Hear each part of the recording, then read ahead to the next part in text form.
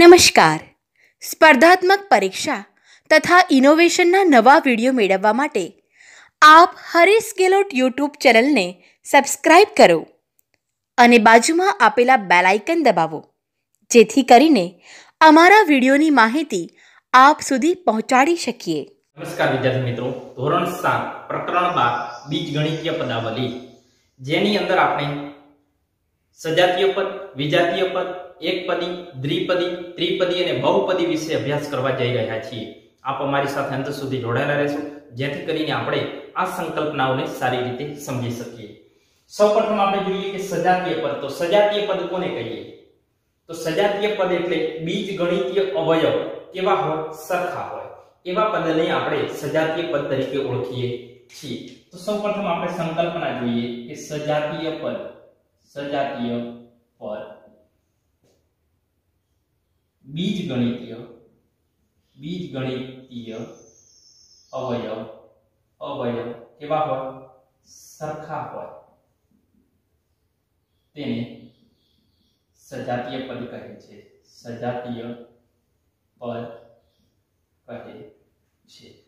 ત્યાર પછી જોઈએ કે વિજાતીય પદ. શું જોઈશું આપણે? વિજાતીય પદ.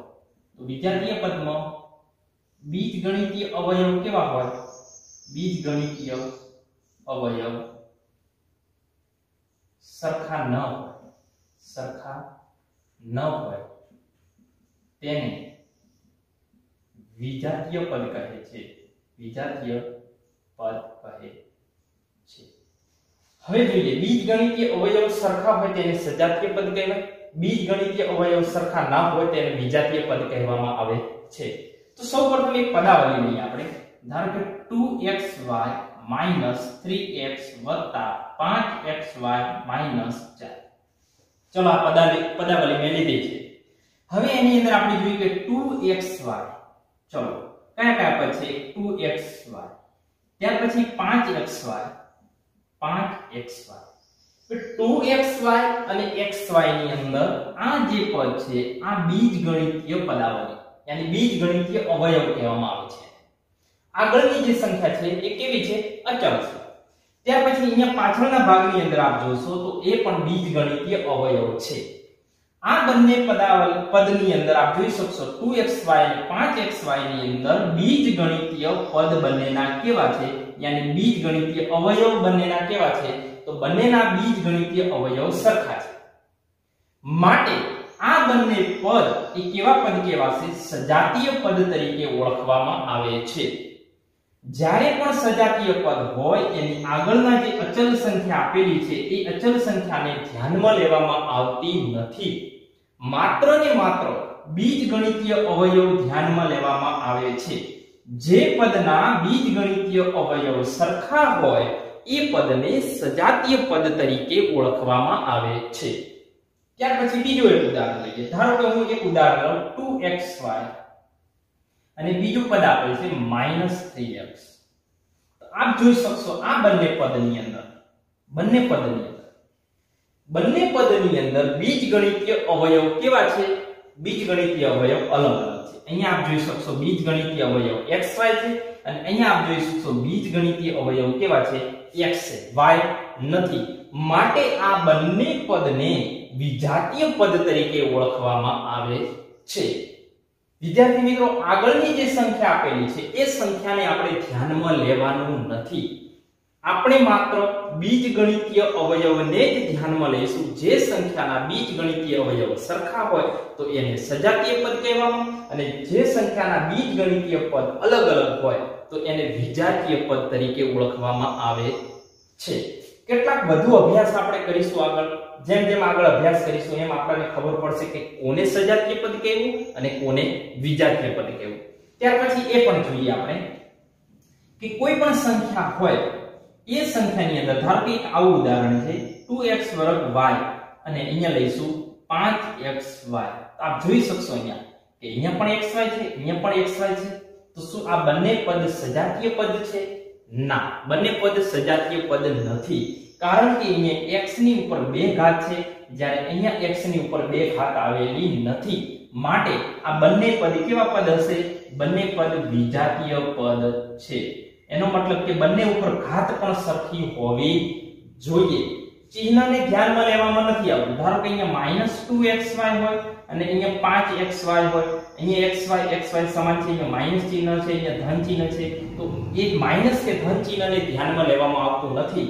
માત્ર ને માત્ર અવયવ અવયવને પાછળના જે અવયવ છે, બીજગણિતીય અવયવ, એ માત્ર અવયવને ને ધ્યાનમાં લેવામાં આવે છે. તો આ વાત થઈ ગઈ આપણે સજાતીય અને વિજાતીય પદની ચર્ચા. ત્યાર પછી આપણે આગળની અંદર ચર્ચા કરીશું. એક એવું ઉદાહરણ જોઈએ. આપ જોઈ શકશો અહીંયા કે 12x આપેલ છે 12 આપેલ છે -25x -25y 1x 12y અને y. તો આપણે એમ કીધું હોય કે સજાતીય પદનું જૂથ અલગ કરો. પરીક્ષામાં એ ટાઈપના પ્રશ્ન પૂછાય કે સજાતીય અને વિજાતીય પદના જૂથ અલગ કરો. તો આપણે જોઈ શકીએ અહીંયા 12x તો એક સજાતીય સજાતીય પદનું જૂથ બનાવીએ આપણે. કયું જૂથ બનાવીશું? સજાતીય પદ. તો 12x આવશે, ત્યાર પછી -25x આવશે, કારણ કે ગણિતીય અવયવ સરખા છે. ત્યાર પછી 25y નહીં આવે, એ અલગ જૂથ બનશે. 25y ત્યાર પછી 1 12 અને 1 નું જૂથ બનશે. 12 અને 1 ત્યાર પછી x, તો અહીંયા ફરીથી x પણ આવશે. ત્યાર પછી 12y તો 12y અને ત્યાર પછી y. તો આપ જોઈ શકશો, દરેક સંખ્યાના ગાણિતિક બીજગણિતીય અવયવ કેવા છે? સરખા છે. અહીંયા પણ જોઈ શકશો બીજગણિતીય અવયવ કેવા છે? સમાન. અહીંયા પણ અચળનું જૂથ છે. માટે આ રીતે આપણે અલગ અલગ વિભાગની અંદર જૂથ પાડી શકીએ છીએ. ત્યાર પછી જોઈએ આપણે એક પછી કે જે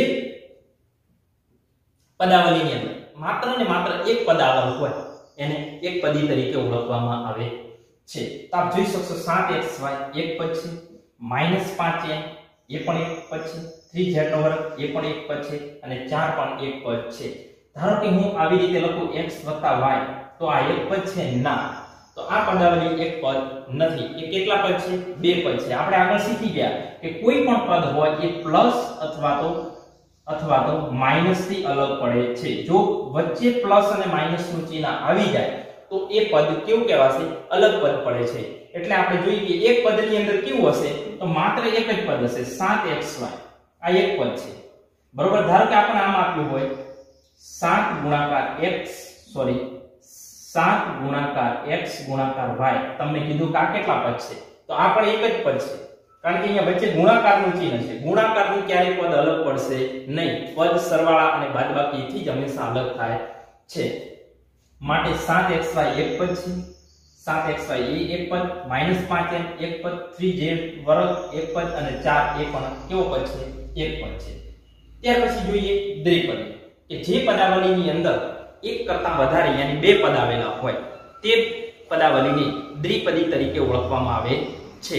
તો કેટલા પદ હોવા જોઈએ? બે પદ. તો આપ જોઈ શકશો અહીંયા કે x y અહીંયા બે પદ આપેલ છે. માટે આ પદાવલીને દ્વિપદી તરીકે આપણે ઓળખીએ છીએ. અહીંયા જોઈશું બીજું એક ઉદાહરણ. -5 m 5 એની અંદર પણ બે પદ આપેલા છે. ત્યાર પછી જોઈએ m n 4m તો અહીંયા પણ જોઈ શકશો આપણે. કે બે પદ આપેલા છે. માટે એને દ્વિપદી તરીકે ઓળખવામાં આવે છે. ત્યાર પછી બીજું એક ઉદાહરણ જોઈએ. a વર્ગ b નો વર્ગ. એ પણ દ્વિપદ છે. બે પદ આપેલા છે. એવા અસંખ્ય ઉદાહરણો પદાવલીની અંદર આપેલા છે કે જે દ્વિપદ તરીકે ઓળખવામાં આવે છે. એનો મતલબ કે જે પદાવલીની અંદર માત્ર બે પદ આવેલા હોય, તે પદાવલીને દ્વિપદી તરીકે આપણે ઓળખીએ છીએ. ત્યાર પછી જોઈએ ત્રિપદની અંદર. તો ત્રિપદી કોને કહીશું? તો આપણે જોઈએ કે x y 7 તો આની અંદર આપણે જોઈ શકશું કેટલા પદ છે? x છે, y છે અને 7 છે. તો ત્રણ પદ આવેલા છે. અને સૌપ્રથમ એ પણ તમને કહી દઉં કે ત્રિપદી કેવી રીતે કહેવાશે? તો દરેક પદ વિજાતીય હોવો જોઈએ. સજાતીય પદ હોવો જોઈએ નહીં. જો તમામ પદ સજાતીય હોય, ધારો કે, એક ઉદાહરણ લઈ લો કે 5 x x. તમને એમ કહેવામાં આવે કે આ ત્રિપદી છે? તો ના. કારણ કે આની અંદર બે પદ કેવા છે? સજાતીય છે. તો સજાતીય પદ હોવા જોઈએ નહીં. સજાતીય પદ ન હોવા જોઈએ. કેવા પદ હોવા જોઈએ? વિજાતીય પદ હોવા જોઈએ. બરોબર છે? ત્રિપદીની અંદર ત્રણેય પદ વિજાતીય હોવા જોઈએ. તો એને આપણે ત્રિપદી કહી શકીશું. બાકીના બે પદ સજાતીય હોય, એક પદ અલગ હોય. તો 5 2x થશે. માટે આ દ્વિપદી છે. ત્રિપદી નથી. એ પણ આપને જણાવી દઉં. એટલે કોઈ પણ પદાવલી હોય, દ્વિપદી કે ત્રિપદી, એની અંદર ત્રણેય પદ વિજાતીય હોવા જોઈએ. એનો મતલબ કે અલગ અલગ હોવા જોઈએ. તો આ ત્રિપદીની વાત થઈ ગઈ કે જેની અંદર ત્રણ પદ આવેલા હોય, એવી પદાવલીને ત્રિપદી તરીકે ઓળખવામાં આવે છે. અને ત્રણ કરતા વધારે પદ હોય, ધારો કે x y 5 sorry, x y z 5 શું આ ત્રિપદી છે? ના. એક, બે, ત્રણ ને ચાર પદ આવેલા છે. માટે ચાર પદી તરીકે ઓળખવામાં આવે છે. અથવા તો બહુપદી તરીકે પણ ઓળખીએ છીએ. તો જે પદાવલીની અંદર એક પદ હોય, દ્વિપદ હોય કે ત્રિપદ હોય, કે ચાર પદ હોય, એ તમામ પદાવલીને બહુપદી તરીકે પણ આપણે ઓળખી શકીએ છીએ. બહુપદી એટલે એક કરતા વધારે પદ આવેલા હોય એને આપણે બહુપદી તરીકે પણ ઓળખીએ છીએ. તો ત્રિપદીને આપણે બહુપદી પણ કહી શકીએ છીએ. બહુપદીને આપણે ત્રિપદી ન પણ કહી શકીએ. એ પણ ખાસ ધ્યાન રાખીશું. માટે આપણે ચારે ચાર સંકલ્પના જણાવી દીધી. એકપદી, દ્વિપદી, ત્રિપદી અને બહુપદી. ત્યાર પછી અહીંયા એક ઉદાહરણ લઈ લઈએ. કારણ સહિત કહું કે નીચે આપેલા પદની જોડમાંથી કયા પદ સજાતીય અને કયા પદ વિજાતીય છે? જોડ આપેલી છે અવયવ, બીજગણિતીય અવયવ સરખા છે કે જુદા? સજાતીય કે વિજાતીય અને નોલ તો સૌપ્રથમ આપણે જોઈએ 7x તો એના અવયવો કયા છે? 7 અને x એ એના અવયવ થયા. ત્યાર પછી 12y તો 12 અને y એ એના શું થઈ ગયા? અવયવ. હવે આપણે જોઈએ કે વિજાતીય છે કે સજાતીય છે? બંનેના અવયવ કેવા છે? સરખા છે? ના, જુદા. અહીંયા x છે અને અહીંયા y છે, જુદા છે. માટે બંનેના અવયવ જુદા હોય તો એ પદાવલીને કઈ પદાવલી કહેવાશે? વિજાતીય. શા માટે એને વિજાતીય કહેવામાં આવી? પદમાં ચલ જુદા જુદા છે માટે એને વિજાતીય કહેવામાં આવી છે. તો આ થઈ ગયો પહેલો દાખલો. ત્યાર પછી બીજા દાખલાની અંદર આપણે જોઈએ કે આના અવયવ કયા હશે? તો 15 અને x એના અવયવ થયા અને માઇનસ 21 અને x. એ શું થઈ ગયા? અવયવ. ચલો. બીજા બીજગણિતીય અવયવ. આ પાછળના બીજગણિતીય અવયવ કેવા છે? જુદા જુદા છે? ના. કેવા છે બંનેના? તો સરખા છે. તો આપણે અહીંયા લખી નાખીશું સરખા. તો સજાતીય કે વિજાતીય? જો બંનેના બીજગણિતીય અવયવ સરખા હોય, તો એ પદાવલીને કેવી પદાવલી કહીશું આપણે? સજાતીય પદાવલી કહીએ છીએ. અને અહીંયા આપણે લખીશું કે પદોમાં ચલ સરખા છે. પદોમાં ચલ કેવા છે? ચલ સરખા છે. ત્યાર પછી અહીંયા ઉદાહરણ લઈએ. આના અવયવ કયા થશે? તો માઇનસ ચાર, એ અને બી. ત્યાર પછી માઇનસ સાત, બી અને એ. હવે આપણે કહીશું કે અહીંયા બી છે અને અહીંયા એ છે.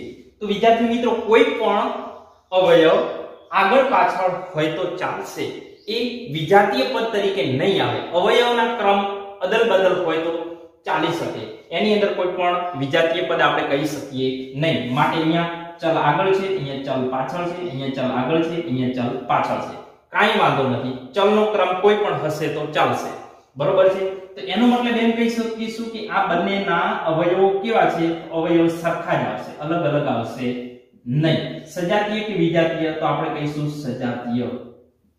અને પદોમાં અહીંયા આપણે કહી શકીશું કે AB બરાબર BA કહી શકાય. બંને સરખા જ છે. AB બરાબર શું થશે? AB બરાબર BA બંને કેવા છે? સરખા છે. ત્યાર પછી અહીંયા જોઈએ આપણે ઉદાહરણ 3xy અને 3x ચલો એના અવયવ કયા છે? 3x અને y ત્યાર પછી અહીંયા અવયવ 3 અને x ચલો, બંનેના ચલ કેવા હશે? બંનેના અવયવ કેવા છે? સરખા? ના. અહીંયા x, y છે, અહીંયા x છે. માટે કેવા છે? ચલ જુદા. તો સજાતીય? ના, સજાતીય નહીં આવે. શું આવશે? વિજાતીય આવશે. અહીંયા નોંધમાં લખીશું કે પદોમાં ચલ કેવા છે? પદોમાં ચલ જુદા જુદા છે. બંને પદોની અંદર ચલ કેવા છે? જુદા જુદા છે. ત્યાર પછી આ ઉદાહરણ ચોથું જોઈએ. છ, એક્સ, વાય અને વાય. વાયનો વર્ગ. ત્યાર પછી નવ, એક્સ એક્સ ને વાય. આપ જોઈ શકશો અહીંયા બંનેના ચલ કેવા હશે? અલગ અલગ. અહીંયા ડબલ વખત વાય છે, અહીંયા ડબલ વખત એક્સ છે. માટે બંનેના ચલ કેવા આવશે? તો ચલ આવશે જુદા. વિજાતીય. તો પદ આવશે વિજાતીય. તો અહીંયા શું લખશું પદમાં? તો બંને પદની ઘાત કેવી છે? બંને પદનો વર્ગ કેવો છે? અલગ. અહીંયા y નો વર્ગ છે અને અહીંયા x નો વર્ગ. તો એ પણ ચાલી શકશે નહીં. એટલે આપણે અહીંયા લખીશું કે પદોમાં પદોમાં ચલનો વર્ગ જુદા છે. વર્ગ કેવા છે? જુદા છે. પદની અંદર વર્ગ જુદા છે. ત્યાર પછી અહીંયા ઉદાહરણ જોઈએ. 4q નો વર્ગ સોરી pq નો વર્ગ. એનો મતલબ કે પી ક્યુ અને q. અને ત્યાર પછી જોઈએ માઇનસ ચાર પી ક્યુ અને ક્યુ તો આપ જોઈ શકશો અહીંયા પી ક્યુ ક્યુ અને પી ક્યુ ક્યુ આપણે આગળ શીખી ગયા કે અહીંયા અચલ કોઈ પણ હશે તો ચાલશે. અચલને ગણવામાં આવતો નથી સજાતીય વિજાતીયની અંદર. Pqq pqq માટે બંનેના ચલ કેવા હશે? તો બંનેના ચલ કેવા છે સરખા. માટે વિજાતીય આવશે તો ના. શું આવશે? સજાતીય. માટે આપણે કહી શકીએ કે પદોના ચલ કેવા છે? પદોના ચલ સરખા છે. સરખા છે. ત્યાર પછી છેલ્લું ઉદાહરણ mn વર્ગ. એનો મતલબ કે m n n. ત્યાર પછી 10 m n.